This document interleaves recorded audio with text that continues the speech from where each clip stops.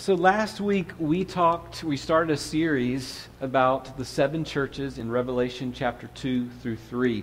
We looked at one church, the Ephesus church, and we referred to that as a distant church. They had a lot of good things going for them, but they have forsaken their what? Their first love. That means we can do all the stuff of church, but if we don't love Jesus, all of that is pointless, right? Okay, so today we're going to be looking at four churches. And these, if I were to group them all together, these are all churches that went through suffering. So I don't have a lot of time to waste, so we're going to jump right in there. And we're going to begin with the church of Smyrna. Now, you'll notice in the categories that in each one of these churches, God does something similar, okay? So one of the categories is the revelation of himself. So, how does Jesus reveal himself to the church of Smyrna? Says in chapter 2, verse 8, These are the words of him who is the first and the last. He was there at the beginning, and he will always be. And this is the part I want you to really focus on because this is important for what he's going to say to the church.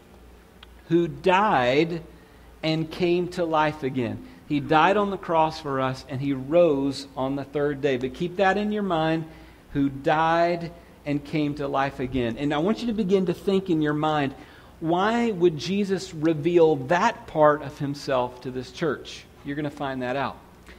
So, if you're taking notes, you're going to write down under the section of Smyrna the revelation of the church, first and last, and died and rose again, the revelation of Jesus. Now, let's move on to what were some of the good things that were happening in the church. He says in verse 9, I know your afflictions. Okay, so here's the start. This is a church that's being persecuted for their faith. I know your afflictions and your poverty.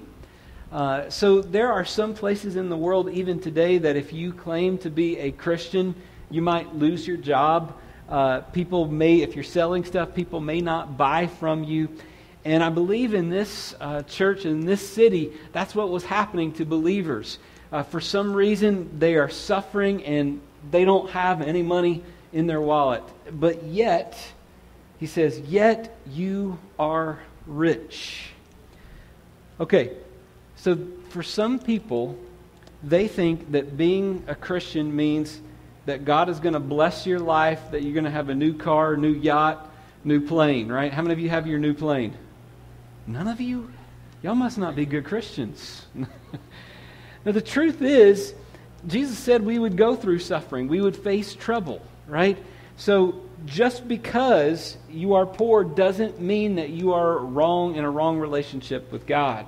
You can be poor and yet be rich. So, how were they rich? Okay, in the eyes of the world, they didn't have money. Maybe they didn't have a roof over their head, or maybe they didn't have the food that they wanted to have, but they had Jesus.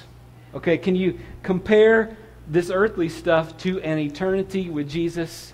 You realize that you are rich. So that's what he said of this church. They were rich in him. Now, we're going to look at the bad in the church of Smyrna. Are you ready? We just had it, okay? Jesus doesn't say anything bad about the church of Smyrna. And I think that's important. They're going through a difficult time, and so he's not going to burden them with anything. But he does have a command for them, and we see that in verse 9. I know about the slander of those who say they are Jews and are not, but are a synagogue of Satan. He kind of eased those words in, didn't he? can, can you imagine being called a synagogue of Satan? That's pretty strong words. What is he talking about? Okay, so there were Jewish people. The Jewish people were the people of God, right? Nod your head. I want to make sure you're with me. Okay, they are the people of God. There were some Jews who received Jesus. Now, who is Jesus? He is the Son of God. He is God. He's part of the Trinity. So, if you are the people of God, but yet you reject God, do you think that's a problem? I don't think you're the people of God if you reject God. So here he says, there are some who are Jews. Yes, they are the chosen people, but yet they haven't received God. And matter of fact, they're working on the other team. They are of the synagogue of Satan. And here's what he says, verse 10 Do not be afraid. Let's just stop right there. Isn't that encouraging? If you're about to suffer, uh, go through suffering, and the word to you, Regan, is don't be afraid. And, and in a minute, you're like, oh, thank you, Lord. That's good.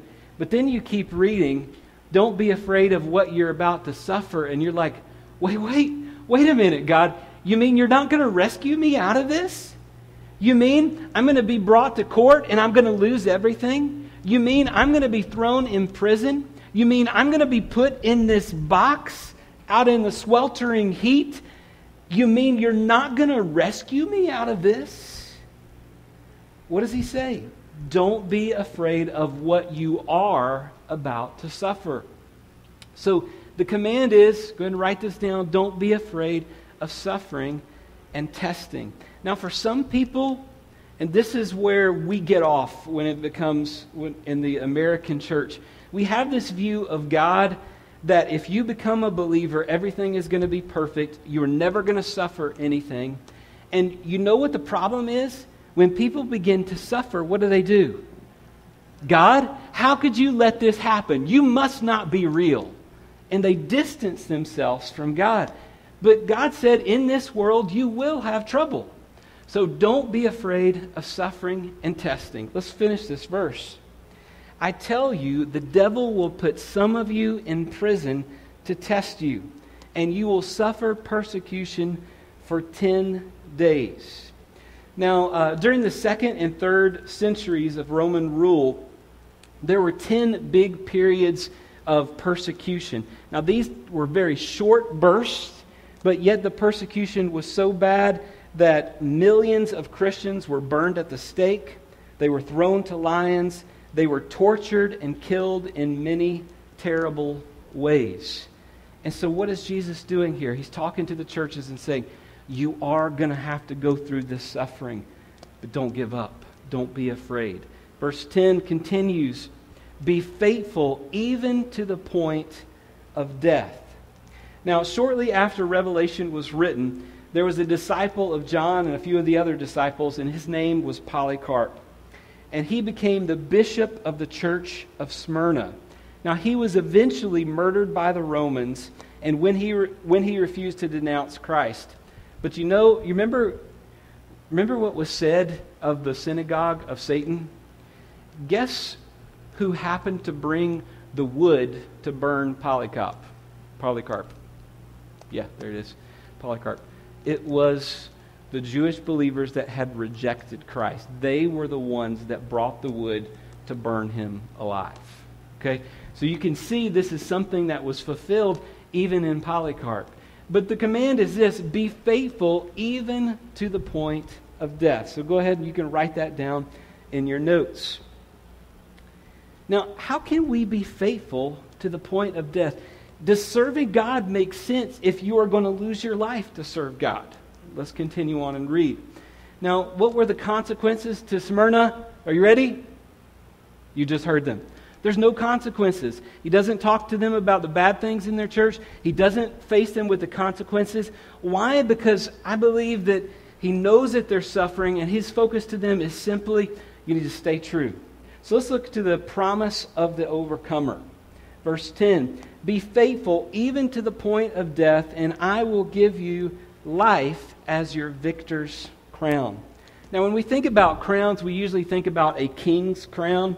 But here, this is the victor's crown. Uh, in that time, you know, they would run races. Instead of being given a trophy, they would have this wreath that would be placed on their head, and it was a thing of honor. So I want you to kind of picture the Olympics you know, when they get on the stand and there's crowd, crowds cheering, you know, and they have the wreath on, that, that is what that's talking about. And so what he's saying, you know what your crown is going to be?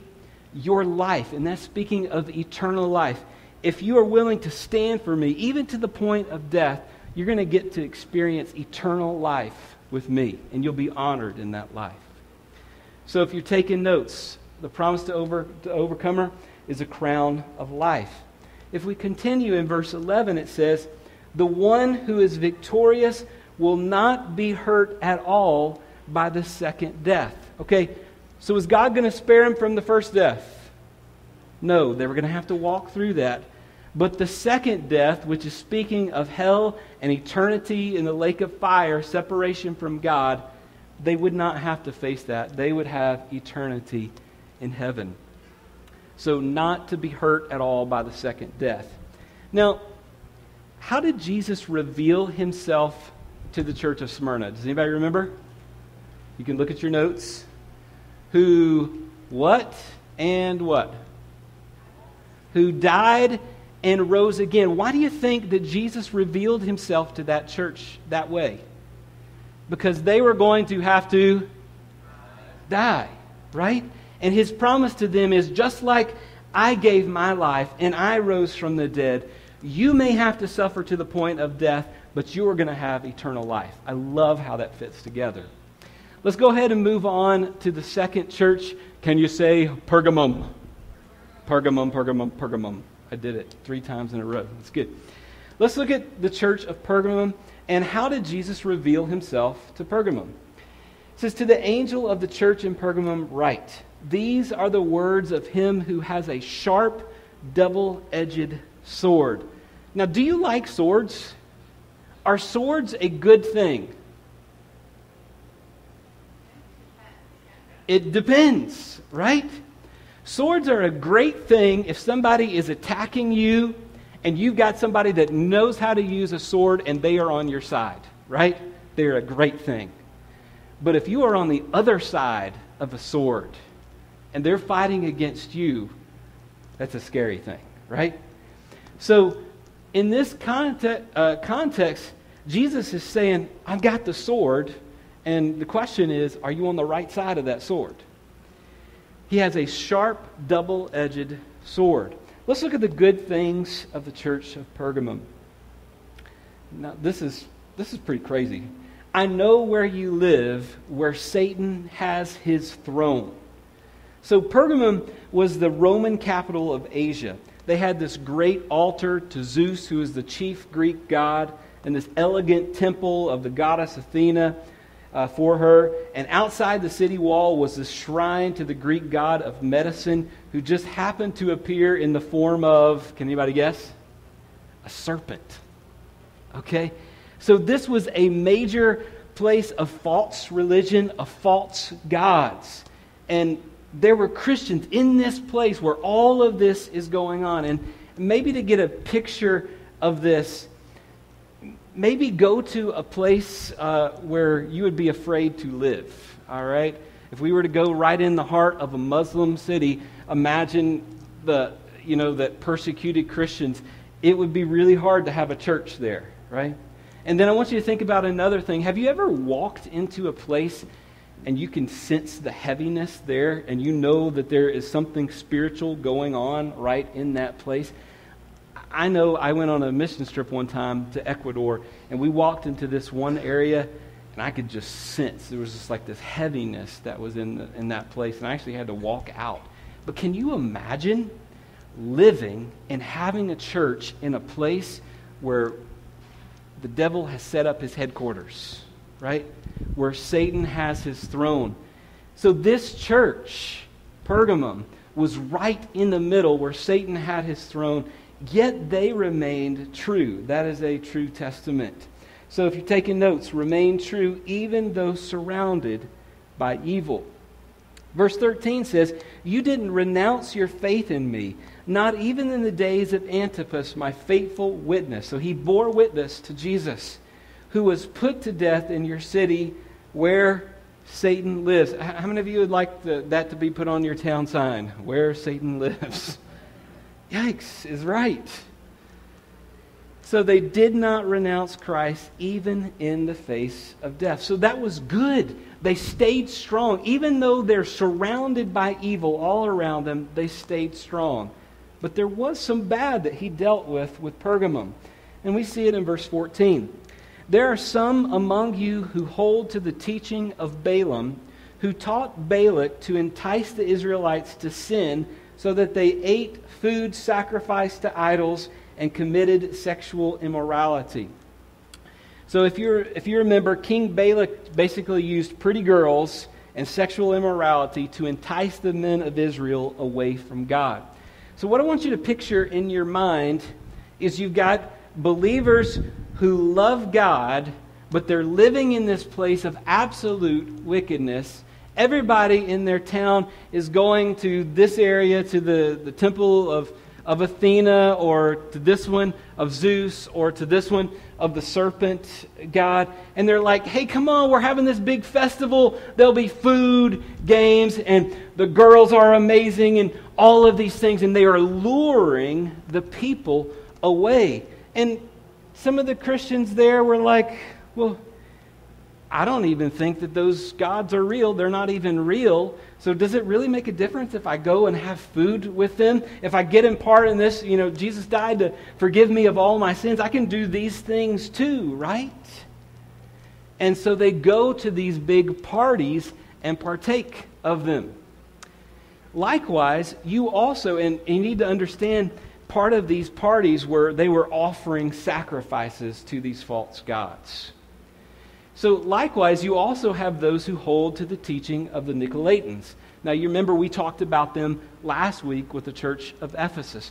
Basically, they were people that believed, they didn't believe in worshiping idols or wasn't a part of that, but they did think having sexual immorality was okay and being a part of that. And so this is something against, something against the church. So if you're taking notes, go ahead and write the bad about this church was idol worship. And not everybody did this, but there were some in the church who did. Same thing, sexual immorality. Now, I want you to think about uh, 1 Corinthians chapter 10 and verse 21 says this You cannot drink the cup of the Lord and the cup of demons too. You cannot have a part in both the Lord's table and the table of demons. So do you, do you understand the symbolism here? You know how we once a month we celebrate the Lord's Supper, right? That is a partaking of him. And so we had believers in this church who would go and partake of the Lord's Supper, and then they would go and partake of Satan's supper. There's a problem of that. Just like we partake of him we are partaking of Satan and his worldly ways. So just does not mix. So, what was the command to the Pergamum church? Really simple repent. Okay? If you are getting involved in sexual immorality, if you are worshiping God but also worshiping other things, repent. Change your direction. You can go ahead and write that down. What were the consequences if they did not repent? Here comes the sword again. Remember how you want to be on the good side of the sword? Otherwise, I will soon come to you and will fight against them with the sword of my mouth. Okay, so do you, do you see the picture that he paints to the church? Okay, here you are. I'm the one who holds the sword. You're getting involved in this sexual immorality, this, this false idol worship. This sword is pointed towards you if you don't repent. Now, what was the purpose of this? Because Jesus wanted to kill them? No, what did he want? Repent. He wanted them to see the seriousness of the situation and repent. So, this is the Word of God. It's a mirror. We look in it and we see ourselves. So, when you're looking in this mirror, can that be said of you? Maybe you're here at church you believe in God, you love God, you've partaken of the Lord's Supper, but are you involved in sexual immorality in your life? The point of the sword is not to kill you here today. The point of the sword is to repent. Now is the time to change. Thank you. And the point is this it's not okay. Even if they're not really God's, it's not okay. God will not overlook when you are living unfaithfully. So the consequence, I'll fight against them with the sword of my mouth. What is the promise to the one who overcomes? The one that everybody is saying, come and be like us. Come and be a part. Oh, this is not that big of a deal. Just come and do this. For the one who resists, who overcomes that temptation, verse 17 says, To the one who is victorious, I will give some of the hidden manna. You know what Jesus is called? He is called the bread of what? Life. Okay, so there's this big contrast between the Lord's table and partaking of Him and the table of wickedness of Satan. And here's the promise to the one who rejects that feast, the evil feast I'm going to give you a better feast, me. You're partaking of him. And the other thing, now, what if you are here today and you are involved in sexual sin? You're involved in idol worship or something else, other foreign gods. And you're here today and you repent and say, God, I don't want to live this anyway, way anymore. I want to follow after you. You overcome in that moment. And here's what you were promised I will also give that person a white stone with a new name written on it, known only to the one who receives it. Okay, I want you to, for a minute, uh, picture yourself in a courtroom, and you are on the stand. You're about to be convicted or let set free, and there are these 12 jurors on the other side, and they've got to give a verdict. But instead of one person standing up, and saying the verdict, they all have something. They either have maybe a black stone or a white stone. And that white stone represents not guilty. And so, in that time, to put that white stone out represented not guilty. Okay, so here's the message of Jesus to them. If you will repent, if you will change, I'm going to give you the white stone, the not guilty verdict. And all, you know, when we sin, we get labels on us. When you lie, you become a what? When you cheat, when you steal, you become a cheater, a stealer. When you get involved with an adult adultery, you are a an adulterer. Okay? Those are names that are put on us, but I am so thankful when we repent and come to the cross, Jesus forgives us and we receive a new name, right? We're forgiven.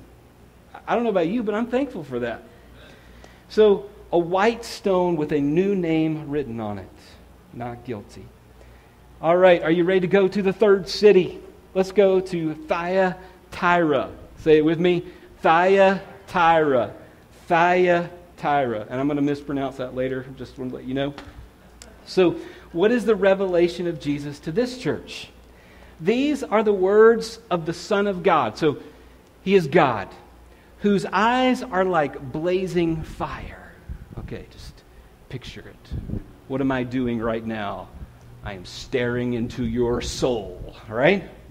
It is. Have you ever watched somebody and it's like they can see right through you?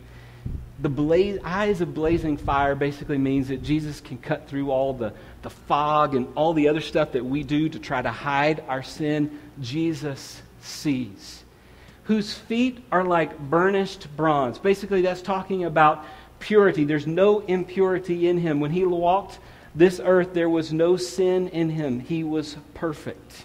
Now, let's begin to process this and think about why is Jesus saying that he sees into their soul? Why is he talking and revealing the part that he is perfect? Let's look and see. Go ahead and take notes here. He's the Son of God his eyes like a blazing fire, his feet were like burnished bronze, no impurity. Now, what were the good things that Thyatira were doing? Verse 19 says, I know your deeds, your love, your faith, your service, and your perseverance. For the sake of time, I'm going to throw those all up right there. Perseverance, love, they loved God, they loved people. They stood strong in their faith. They believed that God could do the impossible. They served other people. They helped the poor. They were persevering. That means they were suffering persecution, but they did not give up. But the one thing I want to take time to talk about today is the second, or the last part here, and that you are now doing more than you did at first. Okay? Put up the mirror for yourself right now. Can that be said of you? As you, in your faith, remember what you've done in the past for God. Are you doing more now or are you doing less? Are you growing in your faith or are you on a downward spiral? They were commended because they were growing in their faith. They were doing more, doing more than they used to. But let's look at the bad of Thyatira. You tolerate that woman, Jezebel this is just a very direct scripture. Matter of fact, when I was studying this, I found out some of the earlier manuscripts, instead of using the word that, use the word your. Okay, so I want you to think through this with me. Are you ready? This, this may blow your mind here. You tolerate your woman. Okay, remember how we talked about to the angel of the church of Thyatira, right? That could be, that's basically a messenger, which could actually be what? The, the pastor, okay? The one in charge of that church. So if this message is to the pastor of that church, and you hear this word, you tolerate your woman, who might he be talking about? The pastor's wife. Yikes. Okay? And symbolically, she is called Jezebel, somebody leading the people away.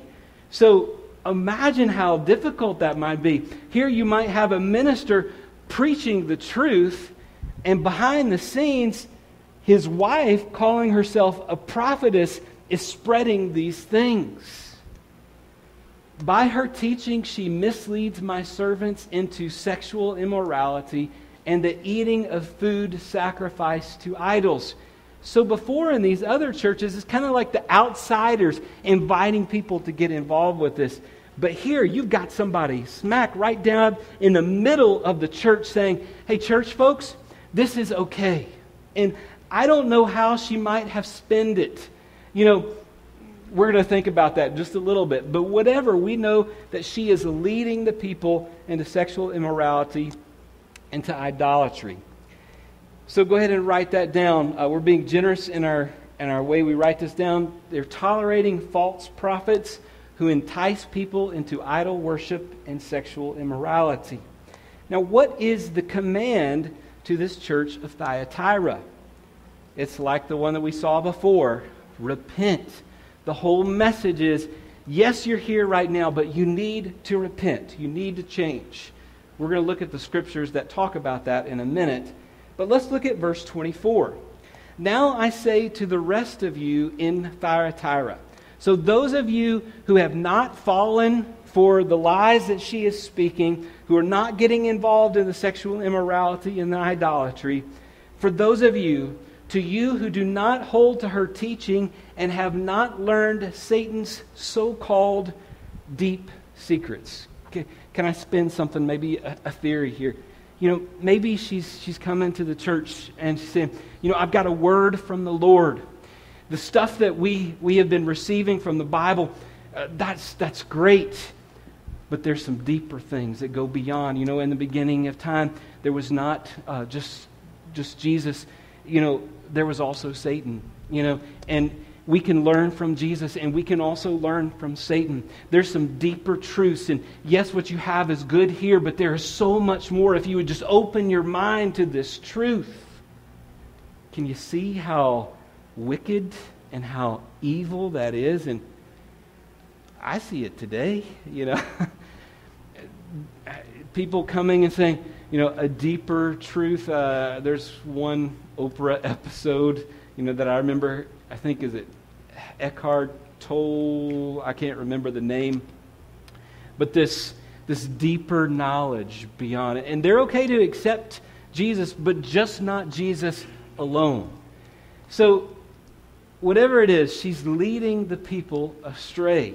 And she's presenting it as like, hey, I've got a, a, deeper knowledge. You know, those other church folks, you know, they're okay, but they don't really get the big picture, you know, poor them. But what he says to those who are not following for that Basically, I'm not going to impose any other burden on you. You're resisting her lies, and that's good. Here's my only command to you hold on to what you have until I come. Don't give up what you believe in. Stand for me no matter what. So let's go ahead and write that down. What is the command? Repent and hold on to what you have. Now, what are the consequences if they don't? What if they give in and they follow the te- teachings of this Jezebel woman. Verse 21 I have given her time to repent of her immorality. You know what I see in that?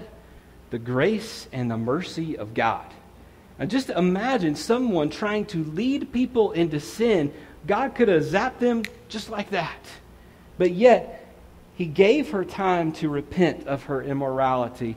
But she didn't want any part of it. I, I imagine there were people that talked to her you can't do this. Hopefully, her husband, okay? But whatever it is, she resisted that. In verse 22, because she resisted that, so I will cast her on a what? Bed of suffering. And so here you see the irony or the connection, right? Because her sin involved the bed, right? Sexual immorality. And now she is going to be cast on that bed with suffering. I will make those who commit adultery with her suffer intensely unless they repent of her ways. So imagine this being read in the church. People that were involved with her, like, unless you repent, hopefully they are convicted and they repent in that moment. But if they don't, verse 23, I will strike her children dead. And it was talking about the children. It's talking about her followers, the people who are uh, following her in her deception. Then all the churches will know that I am he who searches hearts and minds. Go back to the picture of who Jesus is. How did he reveal himself? The one with blazing eyes of fire. He sees, right? He searches the hearts and mind. He knows what's really going on. And I will repay each of you according to your deeds. Remember the burnished bronze. He was holy, but they were getting involved in wickedness. So if you're writing down the consequences, right, they will suffer intensely and they will die. Hey, encouraging word here. But that's not something that God wants. He wants them to repent. But for those who overcome, for those who repent, or for those who don't believe those lies, there is a promise to them. And we see that in verse 26. To the one who is victorious and does my will to the end, I will give authority over the nations. So let's write that down. And I will also give that one the morning star. So I believe that's a reference to Jesus. You know, you can go after the deep secrets of Satan, you can go after the immorality, or you can go after me. All right, for the sake of time, uh, let's go ahead and write that down. They will be given the morning star. And let's move on to our last city. This one we can say very easily because we've heard it many times the Church of Philadelphia. Now, we see this in Revelation chapter 3. We're going to cover the other two churches next week. Revelation chapter 3 and verse 7. Let's look at the picture that is given of Jesus here. These are the words of him who is holy. He's separate from us, and he is true who holds the key of David. David was the great what? King of Israel. What he opens, no one can shut, and what he shuts, no one can open. His authority is the final word. So if you're taking notes, he's the holy and true one. He holds the key of David, and that's speaking of a king's authority. And lastly, in this, no one can open what he shuts, and vice versa. Basically, no one will be able to undo his judgment. Now, let's keep that in mind as we look at what's said. Let's look at the good things for the church of Philadelphia. He says, I know your deeds. You're doing good things. See, I have placed before you an open door that no one can shut.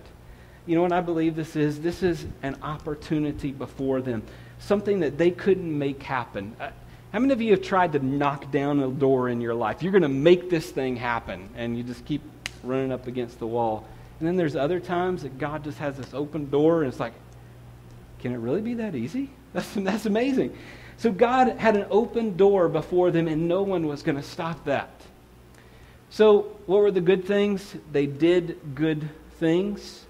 Not only that, it continues and says, I know that you have little strength Yet you have kept my word and have not denied my name. Okay? So they suffered as well. They suffered persecution, but they kept God's word and they did not know, deny his name. So let's go ahead and write those things down. They did good things, they kept the word of God, and did not deny Christ. The last one, you have kept my command to endure patiently. Okay? So not only are they suffering, have you ever had a bad day? There's sometimes where we can have a bad day and you don't tell anybody. Are you the type of person that has a bad day and you don't tell anybody? Anybody here? Some of you, right? Some of you can hide it. And then there's others of us when we have a bad day, what do we do? we tell everybody about it, right? And here we are, they're enduring, but they're they're enduring it patiently. They knew they know that this is part of serving Christ, that there's going to be times where they have to go through difficulty. They weren't disgruntled with the Lord during those times. They endured it patiently. Now, what is the bad that was going on in the Philadelphian church? Uh, not much, but I will say this. He says, I know that you have little strength. So maybe this is a church that needed to grow in their power and their authority of following after God and making a difference. So that's all I put there, little strength. And what is the command to the Philadelphian church? Let's look at it in verse 11. I am coming soon, so hold on to what you have. It's just like one of the messages to the other church. Don't lose your faith. So go ahead and write that down. Hold on. Now, what is the consequences if they don't hold on? Let's look in verse 11. He says, I am coming soon. Hold on to what you have so that no one will do what? Take your crown. What do we learn about the crown uh, for the church of Smyrna? It was the crown of what? Life, right? Okay, so hold on so that no one will take your life, your eternal life. You will lose your crown if you give up. That's the consequence. Now, what is the promise to the overcomer? Now, remember we talked about the synagogue of Satan? We're going to see it again here in verse 9. I will make those who are of the synagogue of Satan, who claim to be Jews, though they are not, but are liars, I will make them come and fall down at your feet and acknowledge that I have loved you. So basically, those uh, Jewish people who had rejected Christ were saying of the believers, who are also Jews, they were saying, You are not really a child of God. Uh, because you're following this Jesus, you are not really a child of God. And they were belittling them. But Jesus is saying, Here's what's going to happen. One day they're going to have to acknowledge that I have loved you. Verse 10 I will also keep you from that hour of trial that is going to come on the whole world to test the inhabitants of the earth. I believe this is talking about the tribulation. Verse 12 The one who is victorious, the one who does not give up, who holds on, I will make a pillar in the temple of my God. Never again will they leave it. I will write on them the name of my God, the name of the city of my God, the new Jerusalem, which is coming down out of heaven from my God, and I will also write my name on them. So let's go ahead and fill this in the promise to the overcomer. Make, he will make them a pillar in the temple. And uh, basically, I, have said this before. I'm going to talk about Bruce. If I were to talk about our church here today, I would call Bruce a pillar of this church. Why? He's been here a long time. He's a faithful guy. He, he served in Sunday school and has done many things, and I would call him a pillar of this church. Why, why do I say that? Because he is an active part of our body, and he has been a support to this body for a long time. There's many of you that I could say the same thing about, but it's a place of honor. And here's what's, what's taking place for this church. He's, if you are faithful, if you come, if you overcome, you're going to have a place of honor in the temple of God. Wow, that's special. And you will carry the authority of God, the new city, and Jesus on you. His name will be on you, and that represents authority. Uh, Melanie, would you mind coming for just a moment? Now, I know that we have just covered four churches, and that's a lot. I, I get that. But here's what I want you to do I want you to take your paper right now, and I want you to begin to look at it because today is not a history lesson. If it's a history lesson, I have failed. If today is a mirror, then I have succeeded. And what I want you to do is begin to look at this. When you look at the church of Smyrna, are you going through some suffering in your life? And, a, and are you beginning to question, God, are you real because I'm facing suffering in my life? You know, if it was me and I was reading that, I would realize that, hey, this is part of the Christian faith. I am going to go through suffering, but it's possible for me to be rich in the midst of this suffering. And, and it tells me, you know, we have it really good right now, but there's coming a time, you know, where we may be brought to court, where we may lose everything we have simply because we stand for what the Word of God says. It can happen, folks. In that day, are we going to stand strong? Will we do the right thing? And from the church of Smyrna, may we be focused on it's not just about this life, it's about eternity. It's about that crown of life. When you look at Pergamum, Thyatira, I want you to think about there's sexual immorality that's happening.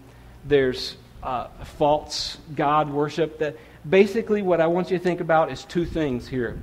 I want you to think about sexual immorality, and I want you to think about Jesus and. Okay?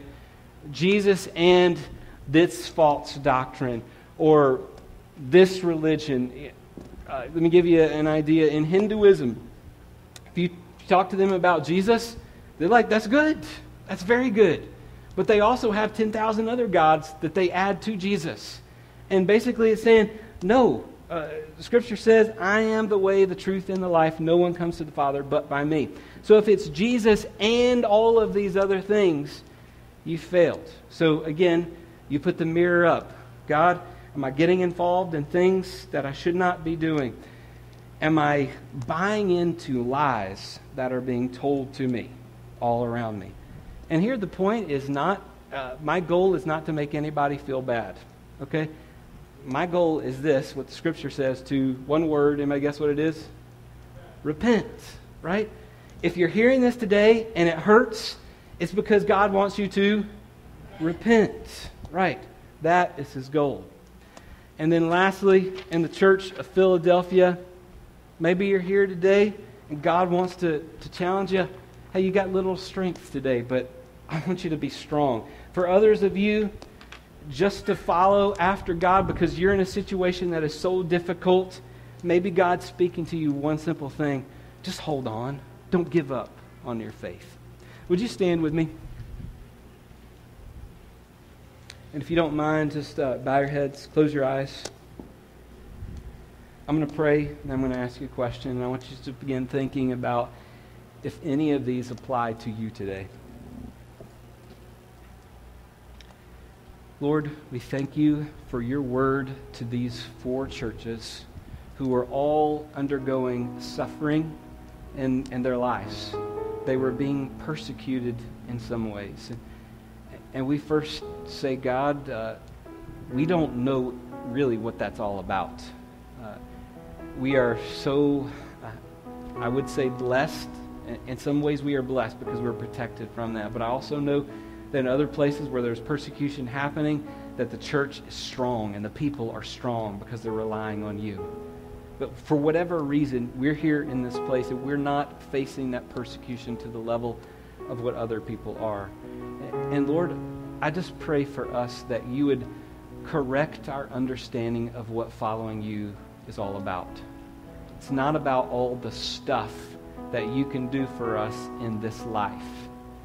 It's about loving you, and it's about eternity. And, and so, Lord, if there's anybody here that's disillusioned about faith and, and like, why, why did this happen to me? And why is all this, why am I suffering like this? Lord, I pray that you would confront them with the scripture that you do love them, but there's more than this life. There is eternity. And so let's stop right now. If, if God is speaking to you, this may be an appropriate time for you just in your own way to say to God, God, I, am sorry. Uh, I've treated my faith like you've got to prove yourself. But the truth is, I want to follow you, even if it be to the point of death. Lord, help me to have eternity in mind. Let's move on to the other. Are you here today and you're coming to church? You say you love God, But you also, it's Jesus and, and you also have sexual immorality in your life. You also have, maybe you've bought into some lies of other religions and it's Jesus and you are participating in the feasts of God and also in the feasts of this world. I'm not even going to ask you to raise your hand because it's I'm not the one with the blazing eyes of fire. It's him. And he sees. And what is his command to you today? Repent. So if God is speaking to you right now, start with confession. Say, God, I realize that I am doing things that are wrong. I'm participating in something that is not you. And Lord, I want to turn. I, and that's what repentance means. It means changing directions. So, so what I'm not talking about today is saying you're sorry and then going back and continuing in that same pattern of doing it and sorry, doing it, sorry, sorry, sorry. No, repentance is, okay, God, I'm done with living that way, and I, from this point on, am going to follow after you. I'm going to be a participant of your feast. I'm going to take you the bread of life, and I'm going to take on your characteristics, your love, your purity. I'm going to be the person that you have called me to be. I'm no longer going to be Jesus and something else. I'm going to be Jesus alone. I'm going to follow after you, God, with all that I have. God is speaking to you right now in this moment. Make that commitment to Him. Now, er, remember we talked about some of these cities? They lived where Satan had his throne. That meant that there was extra temptation, extra pressure. And I don't want to minimize the fact that we live in a culture today that is calling out from TV to music to papers. Everywhere is calling you into sin. I don't want to minimize the difficulty that's involved. But all I want to do is I want you to focus on Jesus and say, Jesus, with your help, I am going to resist sin and I'm going to follow after you. I repent, I am changing directions, and I want to follow after you. If that's your heart, I want you just to convey that to the Lord right now.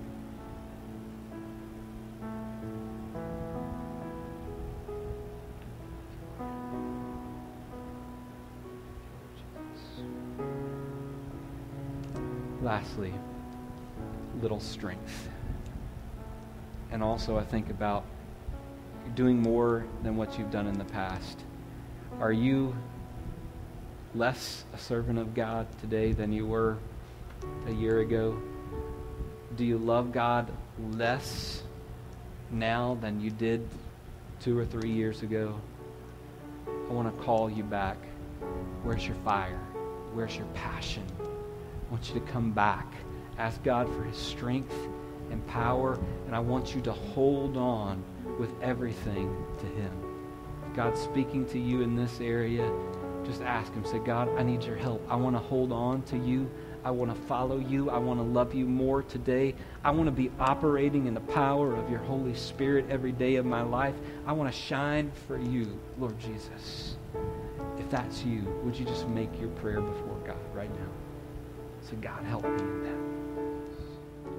Lord Jesus, we commit our heart to you today, and we pray that you would help us to live out our faith. Help us not to give in to evil. Help us to follow you with everything we have. In your name, Jesus.